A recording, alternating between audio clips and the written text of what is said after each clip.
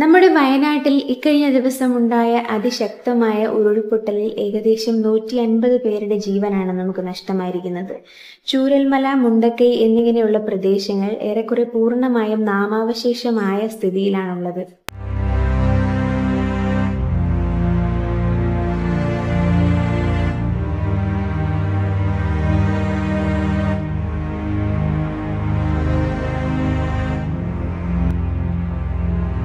വയനാട്ടിലെ ചൂരൽമലയാണ് ഈ കാണുന്നത്.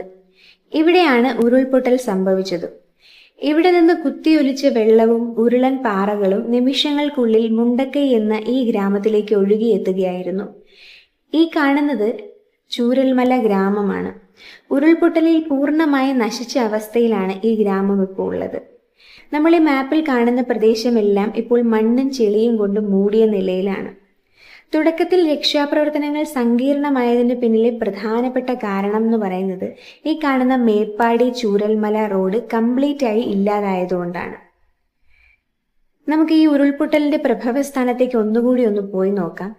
ഇതാണ് പ്രഭവസ്ഥാനം ഇവിടെ നിന്നും വെള്ളം ഒഴുകിയെത്തിയത് ചൂരൽമല വരെയും പിന്നീട് അവിടെ നിന്നും സൂചിപ്പാറ വെള്ളച്ചാട്ടത്തിലേക്കുമാണ്. ഇങ്ങനെ സൂചിപ്പാറ വെള്ളച്ചാട്ടത്തിൽ നിന്നും കിലോമീറ്ററുകളോളം ഒഴുകി വെള്ളം ചാലിയാർ നദിയിലേക്ക് ചേരുകയായിരുന്നു.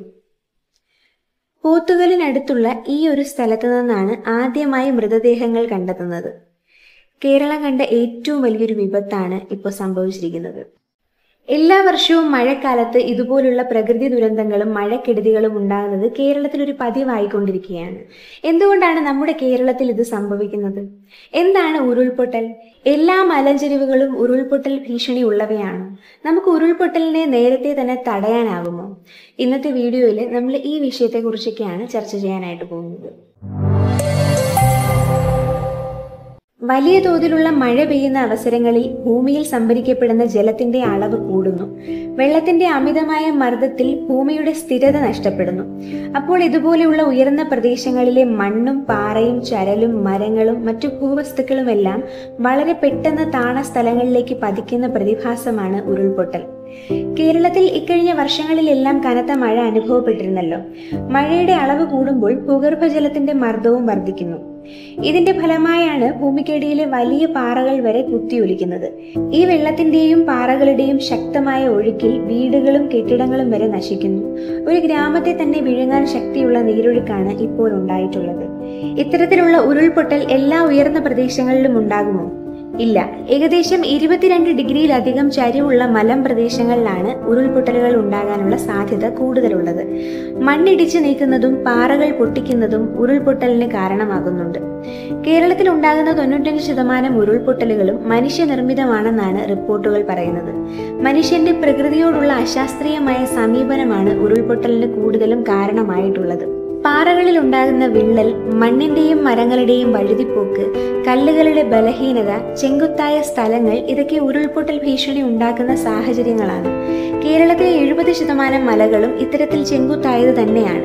മഴക്കാലങ്ങളിൽ ഈ ഭാഗങ്ങളിൽ മണ്ണിടിച്ചിൽ ഉണ്ടാകുന്നത് സ്വാഭാവികമാണ്.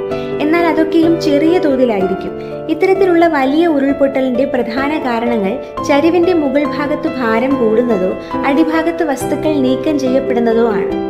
നല്ല കനത്തിൽ മേൽമണ്ണുള്ള പ്രദേശങ്ങളിലെ ചരിവുകളിൽ വെള്ളം ഊർന്നിറങ്ങി ആ പ്രദേശം ആകെ താഴേക്ക് നീങ്ങുന്നതാണ് മിക്കപ്പോഴും സംഭവിക്കുന്നത്. മണ്ണിലെ കളിമണ്ണിന്റെ അംശം ഒരു പ്രധാന ഘടകമാണ്. ഒരു പരിധിക്കപ്പുറം ജലം നിറഞ്ഞാൽ കളിമൺ പാളി താഴേക്ക് പതിക്കാനുള്ള സാധ്യത വളരെ കൂടുതലാണ്. മലമുകളിൽ അതിശക്തമായ മഴ പെയ്ത് സമീപത്തുള്ള പുഴയിലേക്ക് വെള്ളം ചേരുന്നു. പിന്നീട് പുഴയുടെ പാതയിലുള്ളതെല്ലാം തകർത്തുകൊണ്ടുള്ള ഒരു നീരൊഴുക്ക്. അതാണ് കേരളത്തിലെ ഉരുൾപൊട്ടൽ. പാറകൾക്ക് മണ്ണുമായി നല്ല ഉറപ്പുള്ള പ്രദേശങ്ങളിൽ ഇത്തരത്തിലൊരു അപകടം ഉണ്ടാകുകയില്ല.